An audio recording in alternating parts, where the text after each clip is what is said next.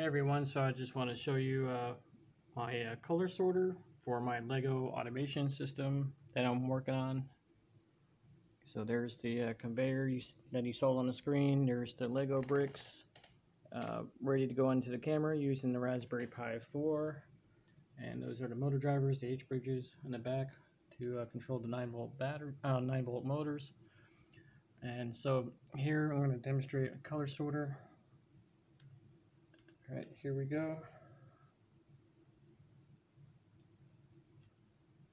Forward jog.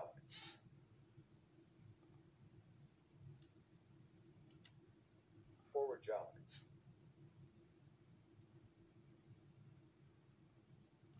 And so it's I have to uh, calibrate the uh, red here. So I'm going to use my color picker just to get the sweet spot of that red. The object is red. Okay, there you go. The object is red. All right, object's red. Okay, I'm going to go The object is red. to the next color. Forward jog. The object is red. The object is orange. Now, as you can see here The on my is orange. on the uh, blocks, I'm not controlling the uh, the voice or the uh, colors. Only thing I'm controlling The object is orange. is the uh, the motor. So The object is orange. it's sensing the colors automatically, The and I'm object just is orange. doing like a uh, a forward jog and a forward step is orange. and a reverse jog and a reverse step. So all I'm The doing object is is controlling the orange. conveyor, but I'm letting it using the video sensing to object sense is the orange. color. So you see that it's sensing orange. The object orange. All right, let's go to the next one. step. The object is orange. The object is yellow. All right, let's get yellow. Let's see The the object is yellow. there's one more. Forward step. The object is yellow. The object is green. Okay, it's got a green. The object is green. The object is blue. All right, Forward step. The object is blue. The object is brown. okay. Forward step. The object is brown. The object is white. Oh, got all right. I figured I was going to have to center it a little bit further. The object is white. All righty. The object is white. It still picks it up. Forward jog. The object is white.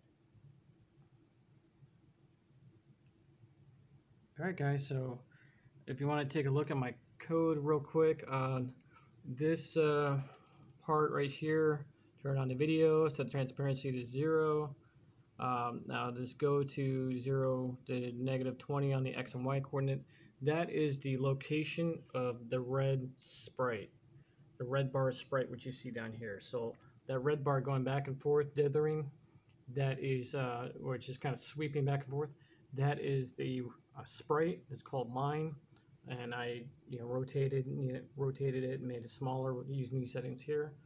Um, these settings, uh, even though I established to where I want the line to be at, this just does the sweeping. This does the uh, I'm going to 17 uh, uh, x coordinates over, and then I'm coming back to zero, uh, zero, zero. And then you get into the color where it says um,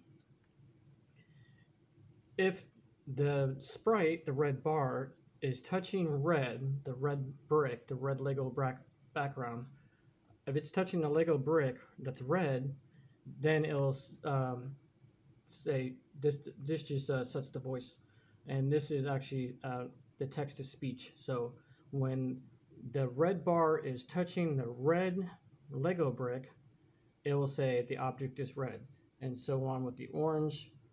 If the sprite or red bar is touching the orange uh, Lego brick, then set the voice uh, um, this this type of voice, the tenor, which is the male voice, and then it sets then it says the object is orange, and so on with orange, yellow, green, blue, brown, white.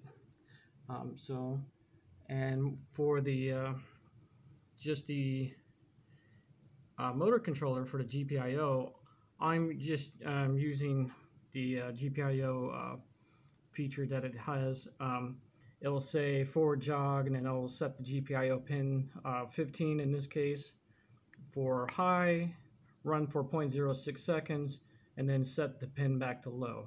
And it does the same thing for, uh, uh, and that's when I uh, push, when I type on my keyboard um, the number one. Uh, here on number two, uh, when I push number two, it'll say forward step instead of forward jog, which is a is a full uh, step with the motor, which is just turning on and off. And that's a 0.1 second delay, so it goes, uh, it turns on uh, the same pin high, but for 0.1 seconds instead of 0.06 seconds, so it's a longer, it's a longer runtime. And then it sets back to low, and let me uh, go further down. I'm not sure if you can see it.